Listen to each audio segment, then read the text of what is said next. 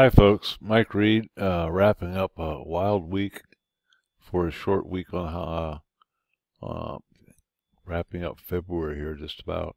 This is uh, trading uh, on February on uh, February the 23rd, Friday, February the 23rd. Um, after Tuesday, after Wednesday and Thursday having um, bounces the noon and then selling off again Today we have a bit different uh, situation. We had a higher open. They had a higher open uh, today on Friday. They stopped at the uh, 22-23 zone and um, initially pulled back, stayed above support, came up again, touched it one more time, and we came down and we held and stalled out here at this uh, at what was a pivotal area at the 12 half 12 area. They came down and held held at uh, 12 and 3 quarters and after stalling out here set up a good trade on the long side. First uh, the first target was this top and they poked up to a new high and was rejected. And um, this was happening on the way up and we were uh, what was the trade I was looking for was for the token new highs to set up scalp shorts. But anyways could do, could have been done the opposite way around just buying dips. Okay the op the objective on the upside was, and it turned out to be a little double double top, and it came just under the um, um, 31, 32 area.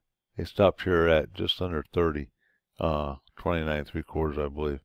Made this double top, and it set up a quick uh, five minute drop here, and it came down, but we held again, running up. It was a pretty strong market, and it was about an eight point move. This is a 10 point move so didn't break break any symmetry.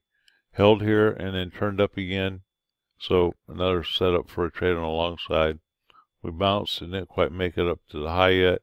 But then this pullback still held here. Turned up. When we turned up here on this bar at 220, 240 time frame, this is 220, 220 p.m. It was a, a, bullish indication. This is when uh, turns or uh, accelerations or reversals often happen. And um, once we got up, back up to this high and took it out, we had a nice run up here. Just a little pause here at the um, at the uh, 36, 37 zone, and uh, that held as new support after they got made it to the uh, 42, 43, up to 43 half 44 zone. Made it up here um, with about about 35 minutes left. Here we had a pullback again.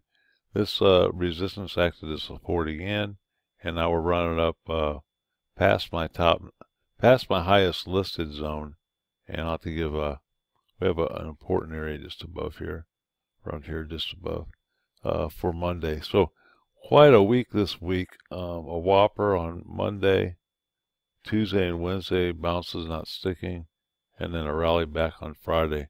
So we um, we have good action, good volatility, and uh, we have a lot of good setups that happen on just about every day. So come join us at tradestalker.com. Hope you had a great week. Hope your week is good next week, and uh, hope you have a great evening. Take care.